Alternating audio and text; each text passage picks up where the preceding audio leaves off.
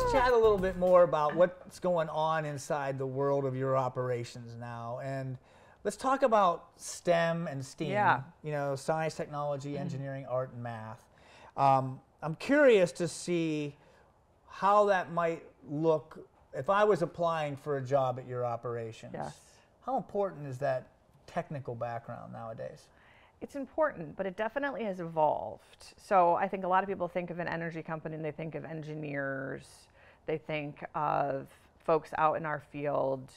Like those are all very important and critical jobs, but we're watching how data is really changing the way that we work and we operate.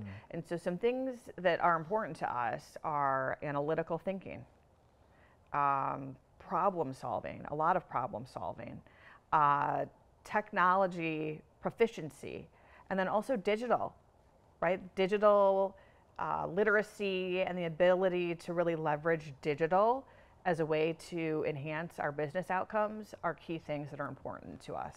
Makes sense. Yeah. You know, and you know, learning how to do problem solving in STEM programs, you know, that's that's a major initiative Yeah. inside our school systems today, and hopefully that prepares our young people to move into positions like what you're you're Yeah. uh, offering.